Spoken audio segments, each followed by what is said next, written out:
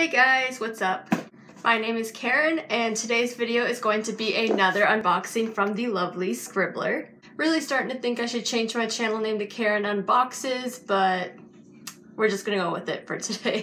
Scribbler is, of course, a bookish subscription box specifically targeted towards writers. I have here the June box, and the theme for this month was actually research, which is such a helpful topic for writers. This is also the first box with their brand new design, and I am totally loving it. it says, for writers from writers there. And it actually has um, Victoria and Lindsay's signature on this side. And of course the front says write with a whole bunch of writing on it. And it has the Scribbler logo right there. Totally loving this design. I did actually receive this one late again just from being Canadian and all. So even though I look like a total trash panda today as I just came from work, I've just waited so long to find out what's in here and I just can't wait any longer and I'm going to open it right now.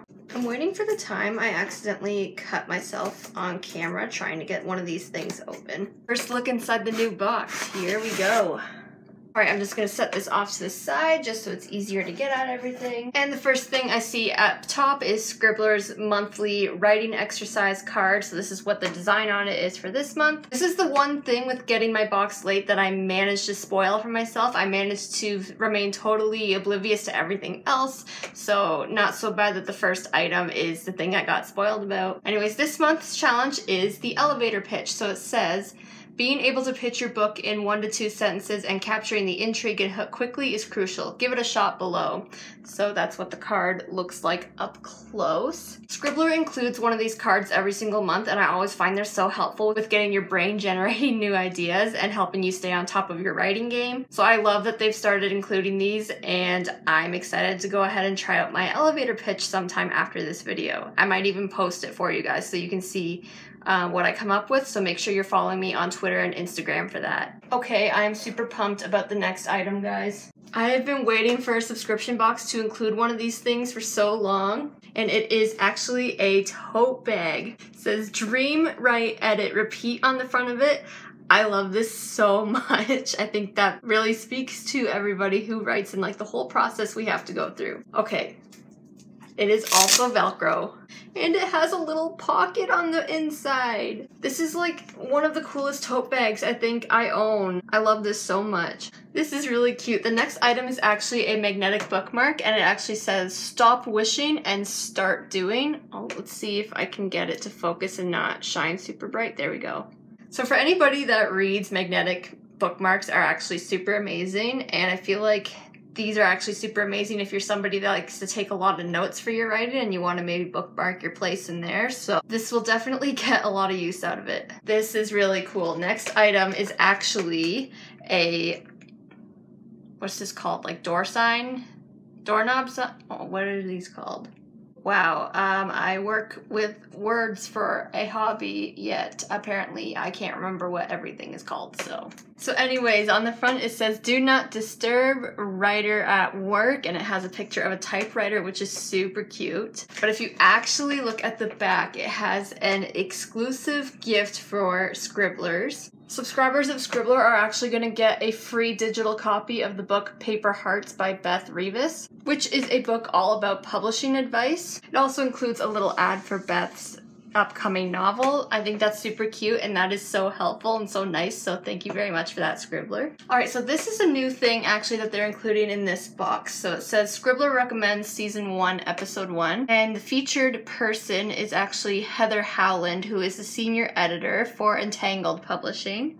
Let you get a sneak peek of that. They've actually included a list of why they love her, and on the back it has writing tips from Heather. That's really cute. I love that they are getting so many more people within the publishing world involved in little cute things in their boxes, so that's definitely very helpful, and it's always great to hear from people that actually work there on what they're expecting from writers and how they can help writers. And here is this month's writer magic inside this cute little envelope here. So if you're following Scribbler, these are usually invites to Google Hangouts with people that that work within the publishing industry.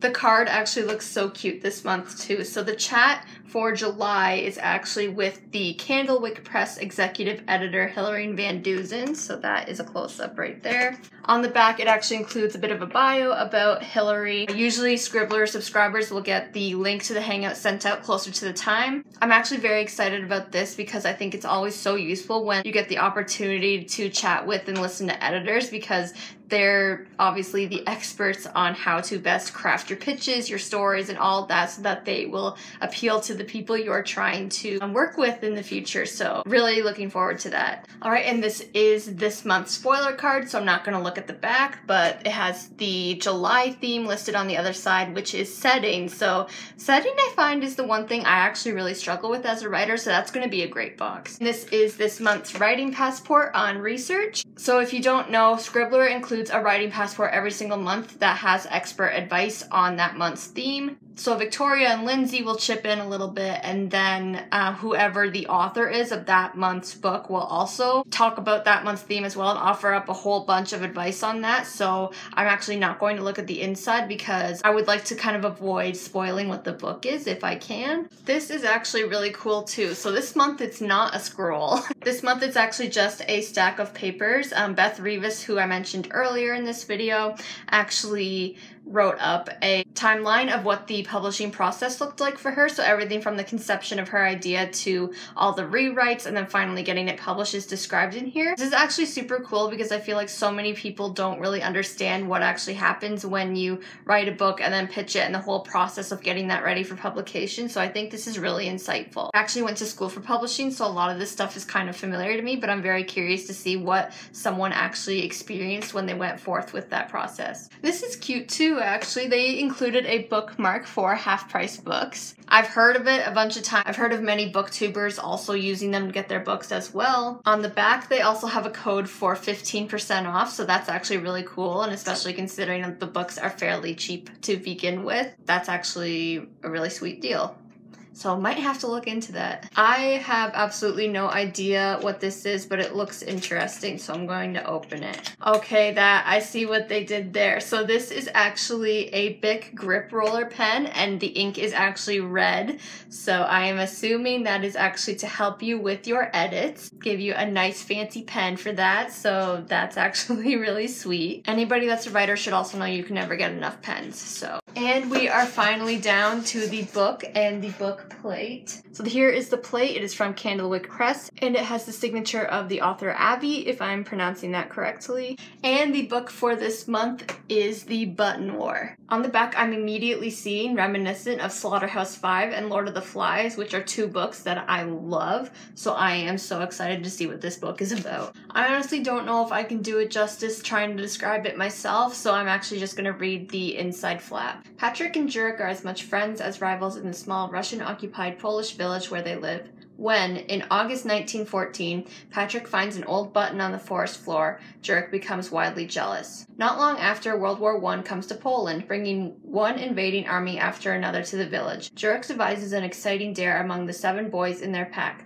Whoever steals the best military button will be Button King. The boys agree. The contest is on. The competition escalates from stealing uniform buttons on a wash line to looting the bodies of dead soldiers setting up an ambush. Leading the charge is Jurek, who will do anything to be Button King. It's only Patrick who tries to stop Jurek's increasingly dangerous game before it leads to deadly consequences. Master of historical fiction, Avi delivers a fierce account of boys in a war torn village who are determined to prove themselves with a simple dare that blurs the line between a button war and a real war. So you can definitely see where all the research into the history of that time and location plays into this.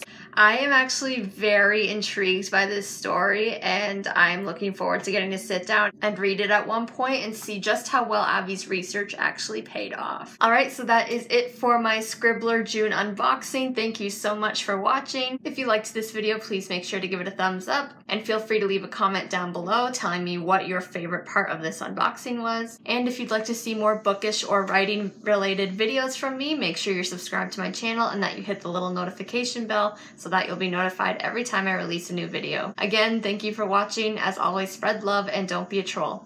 Bye!